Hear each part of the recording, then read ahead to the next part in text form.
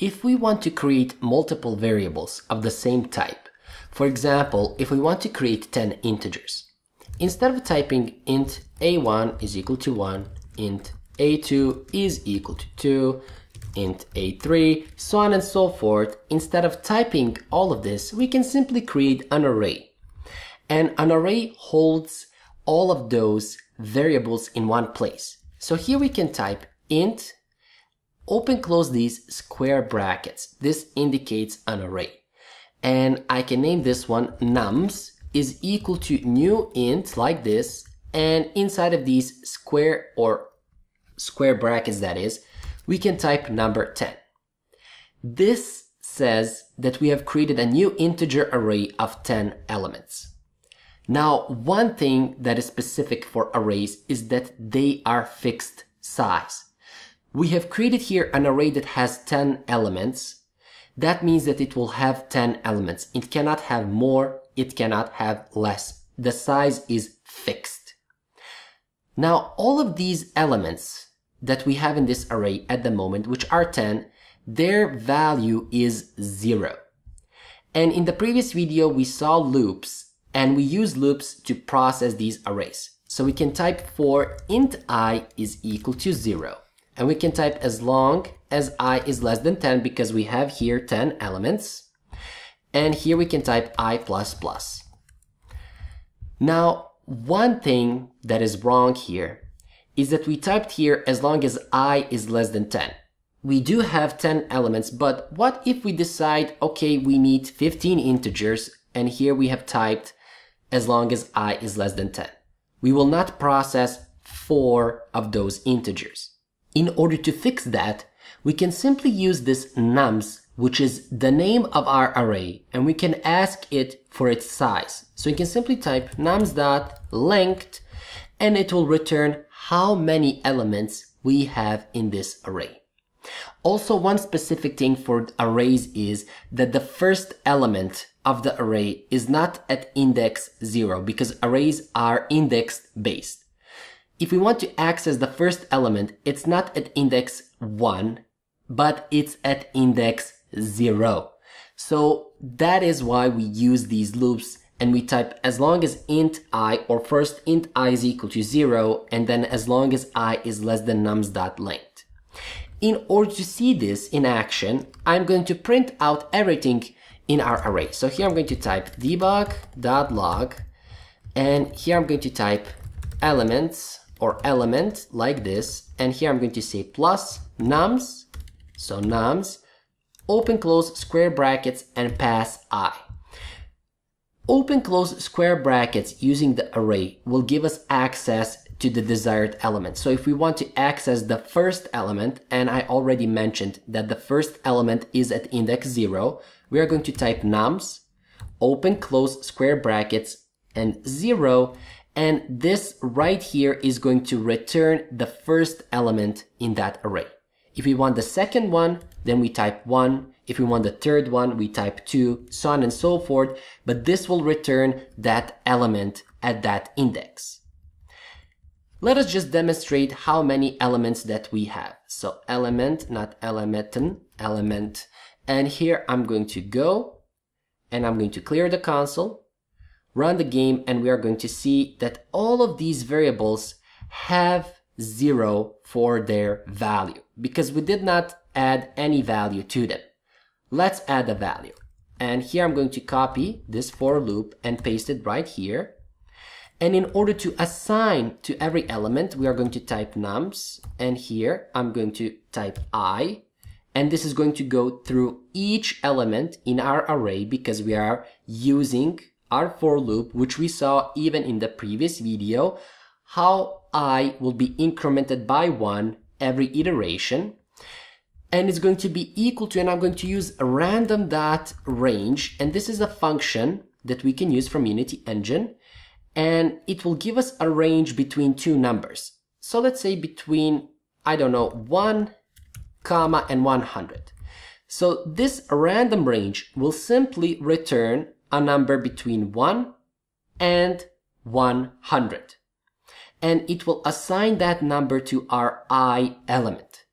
And what I'm going to do here, I'm going to type element plus i, and here I'm going to say again plus, is like this. And it will type element and it will give us the number of the element or the index of that element in the array and then it will give the value of that element. And every value is going to be between random and one, one excuse me, and 100. If I go back in my Unity editor and run the game, we are first going to add all of those numbers to our array and then we are going to print it. So element 0 is 74, element 1 is 78, element 2 is 46, so on and so forth. And you can do this on your own in your own Unity editor and read all of the values in your own console. Of course, the values for you are going to be different because there is a very little chance that all of these numbers are going to be the same with you and me. And we see here that element at index 7 is 19, element at index 8 is 34, so on and so forth. And this is how we can process all of these arrays. When we declare them just like this, all of their values is going to be zero. And of course, we are not limited to an array of integers only. We can have an array of strings, array of floats, array of game objects. Don't worry about that. Don't be confused. We will see that in our game development. So please calm down. Don't worry about it.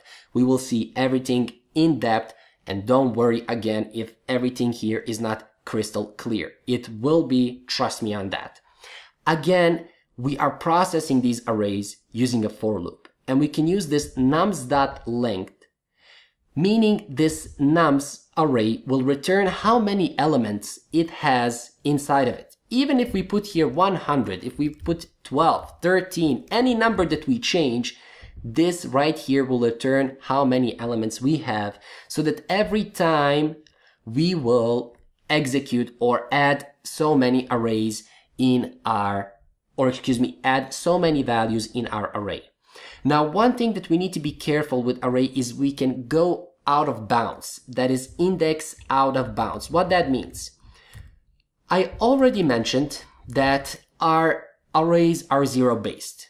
And if we want to access an element, for example, the first element, we type zero like this because the first element is at index zero. Now we have here 10 elements.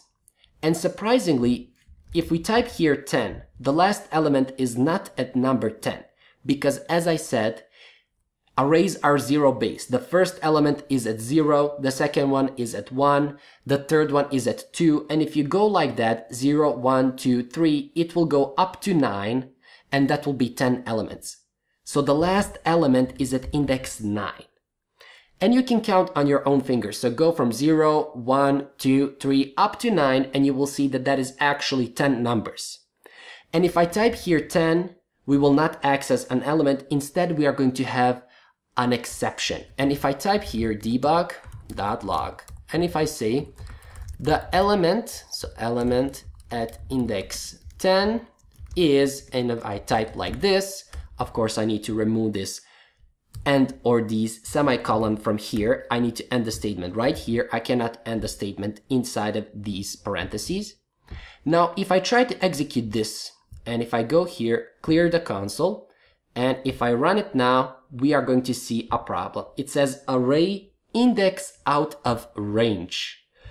That means that we are trying to access the element at number 10, but we don't have that element. So this is a common mistake that beginners make. So make sure that you don't go above how many elements we have.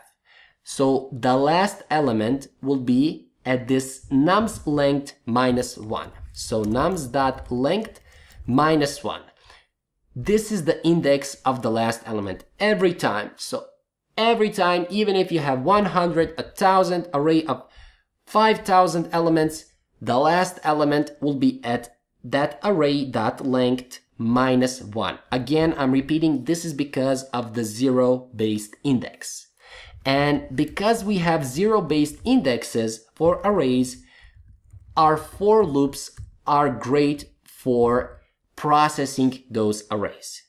Again, I'm repeating, if everything here is not clear, crystal clear, please ask a question regarding this lecture and I will explain everything, but everything that we saw here will be covered multiple times over and over again when we start developing our games. So don't worry about that. In short, this was about arrays and how we can use them. And again, I will repeat, we don't need to have only arrays of integers. We can have arrays of strings, of booleans, floats, doubles, so on and so forth. In short, this was about arrays and how we can process them. And when we start developing our games, we will see arrays in more depth.